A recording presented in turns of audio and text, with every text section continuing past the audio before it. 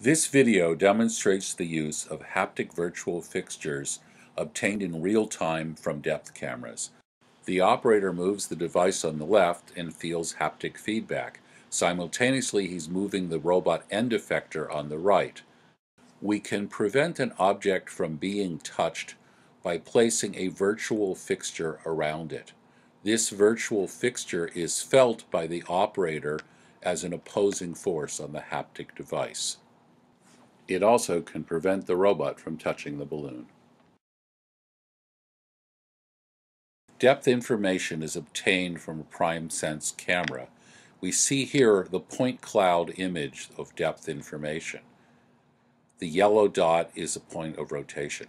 The black and white objects used to register the position of the robot end effector to the point cloud image.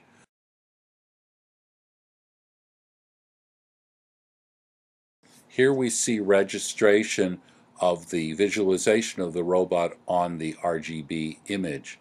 Note that this registration is robust to camera position.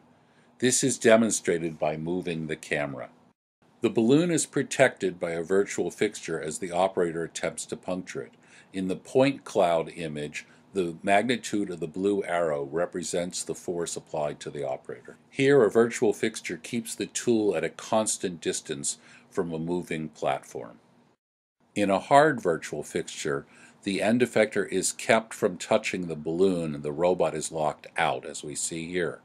In a soft virtual fixture, the operator can overcome the virtual fixture with effort and make contact with the object.